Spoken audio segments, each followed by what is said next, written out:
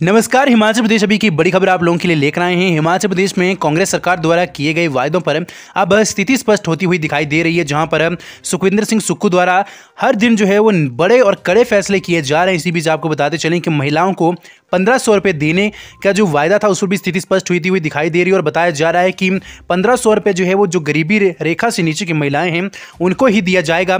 तो ऐसे में जो है, वो यहाँ पर स्थिति स्पष्ट हो चुकी है। बाकी यहाँ पर ओपीएस की बात करें या फिर बेरोजगारों को रोज़गार देने संबंधित मुद्दे की बात करें तो उससे पहले सर्वप्रथम जो है, वो आपको बताते चलें कि किस तरह से जो है आर्थिक बजट तैयार किया जाएगा, उस सभी मुद्दों पर जो है वो चर्चा की जाएगी।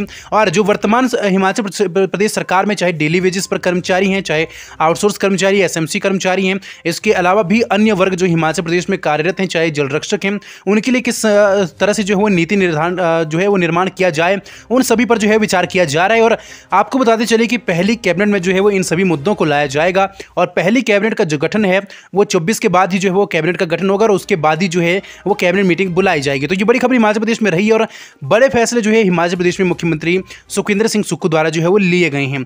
मिलते हैं अगली खबर में। आपका क्या कहना है इन सभी फैसलों पर जो है हमें कमेंट बॉक्स में ज़रूर बताइएगा। तब तक तो मिलते हैं अगली खबर में। धन्यवाद। जय हिंद, जय हिमाचल।